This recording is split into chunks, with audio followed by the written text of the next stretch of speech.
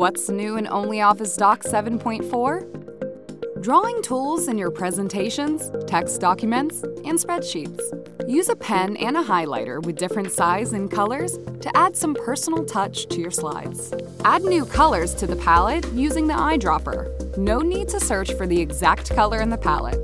Eyedropper recognizes any color on the slide. Copy the formatting of the existing objects when creating new ones. In the document editor, you can combine two text files. Meet radar charts and spreadsheets. They compare multiple items against various features or characteristics. For example, this chart visually represents strengths and weaknesses in three different products in terms of price, durability, appearance, customization, and quality. Save objects from your files as pictures.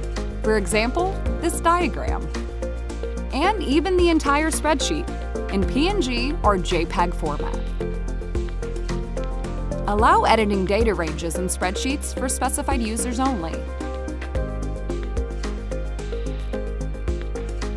Other people with access to the workbook are still able to view the content, but editing the selected ranges is prohibited for them. We added new handy functions for spreadsheets.